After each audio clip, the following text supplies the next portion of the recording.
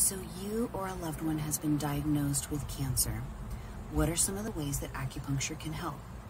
Acupuncture helps to relieve many of the symptoms that are associated with cancer treatments, such as nausea and vomiting due to chemotherapy and radiation, the numbness and tingling and in the feet and hands called neuropathy, which happens oftentimes when people have chemotherapy introduced, just one of the side effects.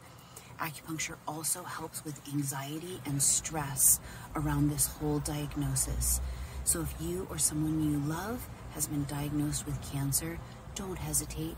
Send them to us. We'll be happy to help. So you or a loved one has been diagnosed with cancer. What are some of the ways that acupuncture can help?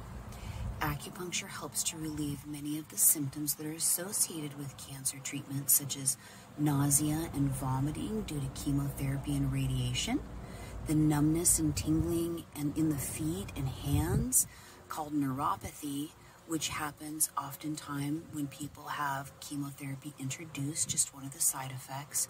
Acupuncture also helps with anxiety and stress around this whole diagnosis. So if you or someone you love has been diagnosed with cancer, don't hesitate. Send them to us. We'll be happy to help.